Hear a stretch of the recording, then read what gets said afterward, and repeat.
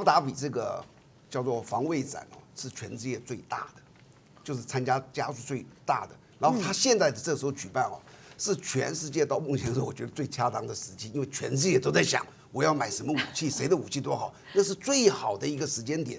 然后中国的所有东西的 CP 值都非常高，好比我举一个例子，他当初歼七跟法法国的幻象两千啊竞标巴基斯坦的那个飞机的时候，他开的价一架是八百万美金，幻象呢五千万美金以上一架，万跟五跟五千万，所以以当时巴基斯坦就是我买了它五十架就好，就买了中国的，后来他又继续买，买了一百多架，这是他的。那我再说这个他的潜舰，我上次有提过，他卖给泰国三艘，一艘一百亿，对不对？对这最新型的原级潜舰，还有 AIP，那个真性能非常之好的，现在的价格一百亿。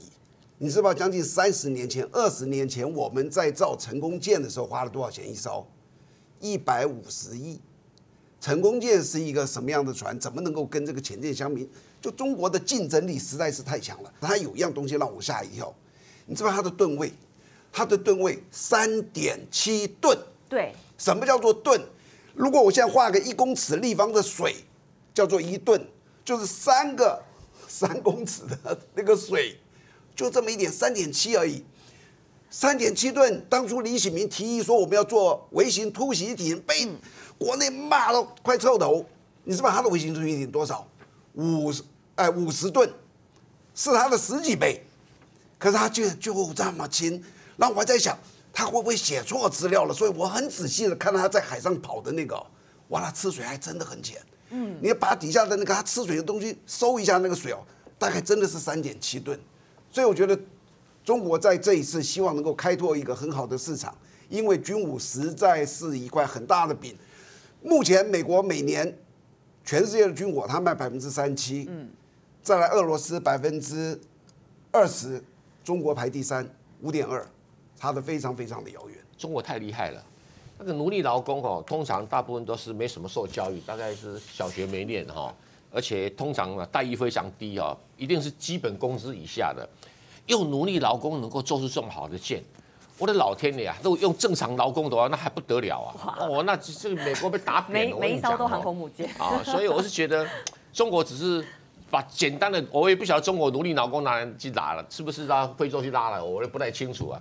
以前我印象中奴隶劳工的只的技能只能够摘棉花去了哈，或者是挖挖地啊、挖挖水沟啊哈。那中国用奴隶劳工可以做出这么好的军舰，哦，那个那管理能力实在是超强啊，这实在是已经不得了的。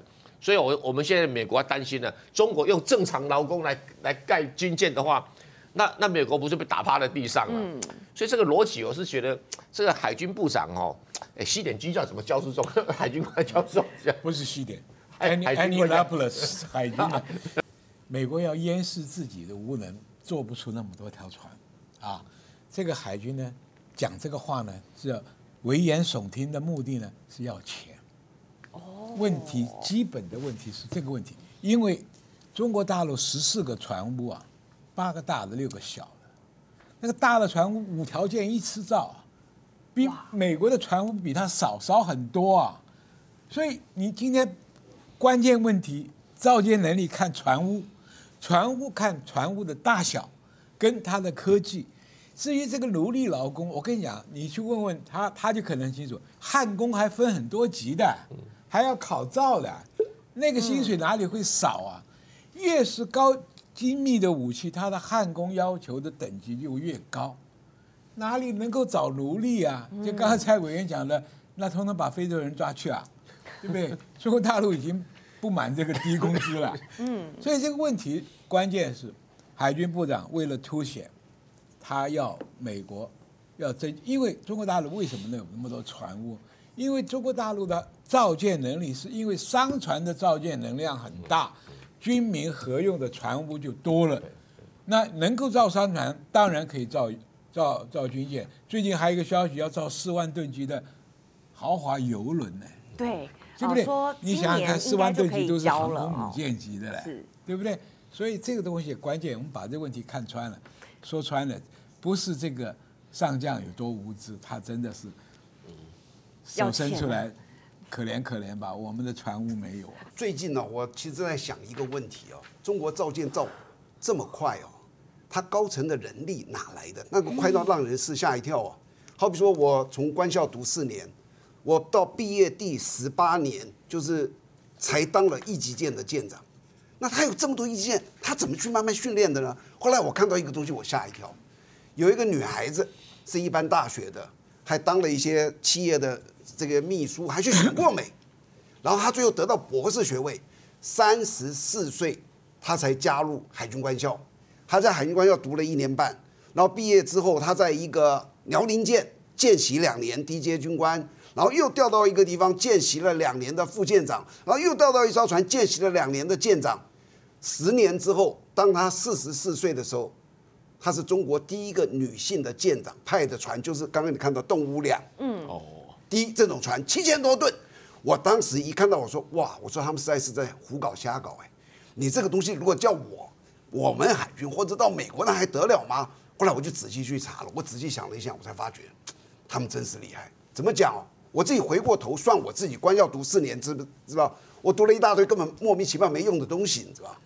这个人已经是博士了，你还要叫他读这些东西干什么？所以他在官校一年半，他只要读跟海洋有关的国际法啦、航行避碰啦、怎么样导航啦，一年半，我想想，绝对足够。哦直接接着我在想说，我们的海军的整个发展历程中间啊，你以为每一年都在海上啊？没有啊，每一任官大概是一年，一年就调。我枪炮官干一年，反检官干一年，兵器长干一年，监务长干一年，就是换换换。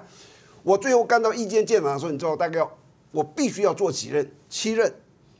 也就是说，我实际在海上的时间只有七年，那剩下时间我要到总部去当参谋，我要出国去读书等等。那这位博士生哇，中国中间繁文缛节都不用了，直接跳过，全部没有，他直接把它超车上上去。他几乎在海上磨练了八年半。直接，上船时，直接就是他在官校读了一年半，读了就是我航海海军要之类的，所以我就发觉中国人的灵机应变的能力太厉害了。他刚刚这个做法哦，我跟你讲，如果是在我们台湾呐、啊你试试看，哪个将军 敢做这个决定？那开玩笑。水神的成分是什么呢？再跟大家介绍，微酸性电解次氯酸水，所以呢，它比较温和。尽量有的人对酒精比较过敏的人，他可能没有办法说一直喷酒精。好，但是呢，用水神来消毒双手的话。很安全，好，那怎么买呢？欢迎大家上我们的快点购网站，好，就可以买到